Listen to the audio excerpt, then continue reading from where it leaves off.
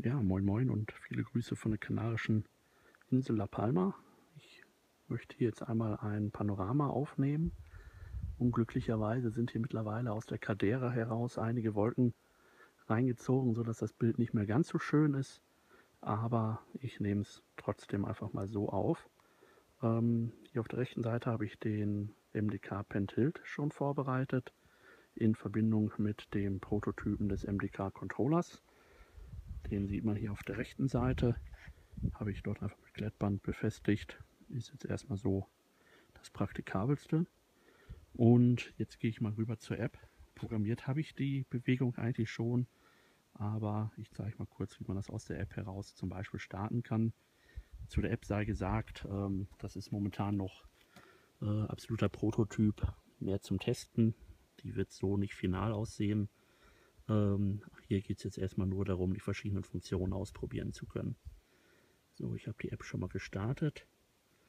Scanne erstmal nach Geräten, MDK Pen Tilt, den nehme ich. Baue die Verbindung auf. Aktiviere den Panoram Panoramamodus. Wie gesagt, Start- und Endposition sowie den Bildwinkel habe ich schon eingestellt. Und jetzt kann ich einfach auf Start drücken und dann beginnt der Kopf die Aufnahme. Hat im Hintergrund schon gehört, die Kamera hat das erste Mal ausgelöst an der Startposition. Und jetzt fährt der Kopf Spalte für Spalte und Zeile für Zeile das Bild ab.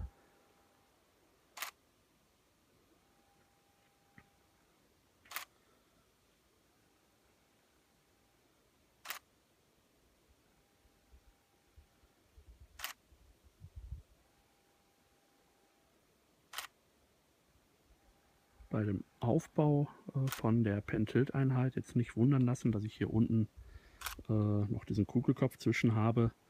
Das musste ich hier aus der Not heraus geboren äh, mit den Sachen, die ich vor Ort hatte, so machen, um ähm, Platz für den Nodalpunktadapter zu kriegen.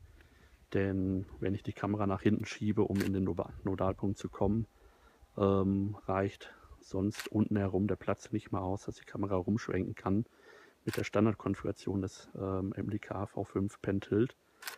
Ähm, ist im Regelfall für Zeitrafferaufnahmen ja auch gewünscht, um da die Baugröße gerade auf dem Slider dann möglichst, möglichst niedrig zu halten. Hier in dem Fall, wenn ich die Kamera im Hochformat ähm, in den Nodalpunkt bringe, äh, reicht der Platz nicht. Ähm, für Zeitrafferaufnahmen ist das wie gesagt egal.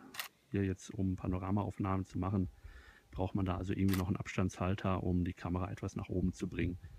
Der Kugelkopf ist jetzt eigentlich viel zu hoch, aber ich hatte halt nichts Passendes da. Gut, das so viel dazu. Ich denke mal, ähm, das Prinzip ist klar, das kennt man eh. Und das funktioniert jetzt wie gesagt auch mit dem MDK Pen Tilt mit MDK Controller. Viele Grüße, tschö.